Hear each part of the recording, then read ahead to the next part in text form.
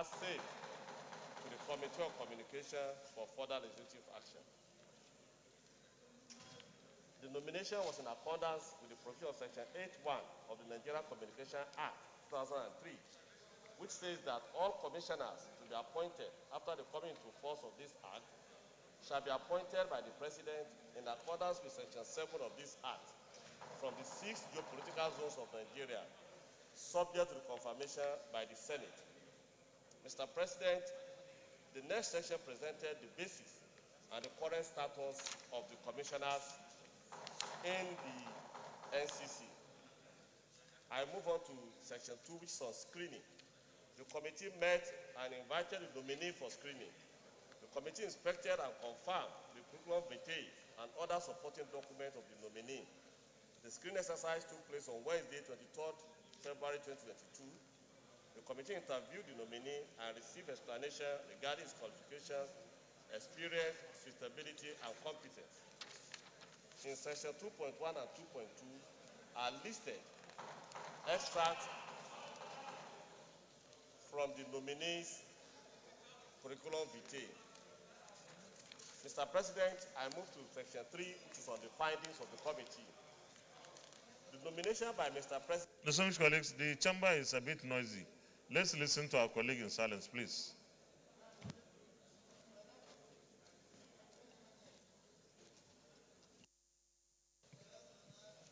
Thank you, Mr. President. The findings of the committee. Nomi- nomination by Mr. President and Commander-in-Chief of the Federal Republic of Nigeria is in consonance with provision of Section 8, subsection 1 of the Nigeria Communication Act 2003. The nomination by Mr. President is also in consonance with the provision of Section 11, subsection 2 of the Nigeria Communication Act 2003 regarding the filling of the vacancies on the board. The nominee met the statutory requirement regarding his professional and educational competence, credibility, and suitability for appointment as non-executive commissioner on the governing board of the Nigeria Communication Commission. Preliminary checks did not reveal any record of indictment against the nominee by any administrative or judicial panel or court of law for abuse of office or criminal offense.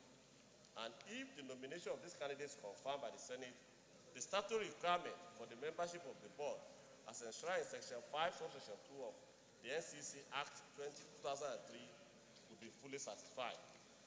Recommendation, Mr. President. After exhaustive deliberation and scrutiny of the curriculum vitae and other supporting documents of the nominee, and having been satisfied with his qualifications, experience, suitability, competence, and ability, the committee hereby recommends that the Senate do confirm the nominee of Professor Mans- Mansur Awadu Bindawa as non-executive commissioner on the governing board of Nigeria Commission Commission. Prayer, Mr. President, that the Senate do approve the recommendation of the committee. I so move, Mr. President.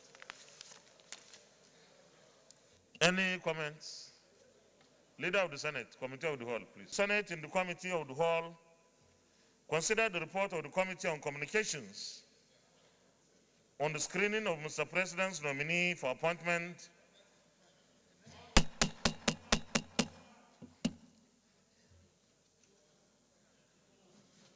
on communications on the screening of Mr. President's nominee for appointment as a non-executive commissioner on the governing board of the Nigerian Communications Commission, NCC, and approve the nomination of Professor Mansur Awali Bindawa as a non-executive commissioner on the governing board of the Nigerian Communications Commission, NCC.